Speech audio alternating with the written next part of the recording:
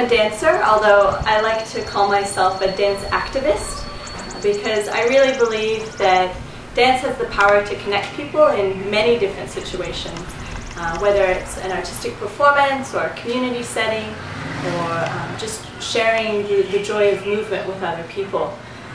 So I've made dance my life's work in, in many different capacities, and one of the things that is so um, essential to that for me is the ability to collaborate with other artists, whether in dance or music or painters or visual artists. And I think that that's really exciting because that collaborative process uh, allows me to explore my own creativity, to have the chance to experience other perspectives, to challenge me, and in this instance, uh, you know, we're looking at doing a, a, project that's exploring the idea of space, and from my perspective, um, how dance can be used to translate one's own personal experience of a space, and how it also opens up discussions or opportunities for other people to uh, explore space in new in new ways and in new ideas. So it opens up conversations, at different ideas of, of how you might think of something. Uh, so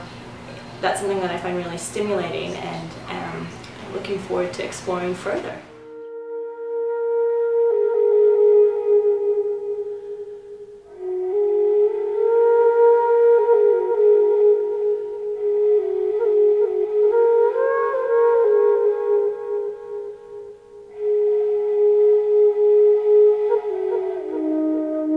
I got inspired by a previous painting I did before. It was entitled Sayaw Mindanao, meaning dance Minda now. And I tried to incorporate it for my solo exhibition. And I was thinking like maybe to come up with something contemporary about a painting I did before. So um, I did this collaboration with Erica Rose to somehow give a deeper side of the painting.